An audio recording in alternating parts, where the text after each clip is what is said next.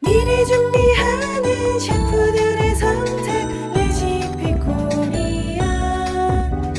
지금 먹을 찍고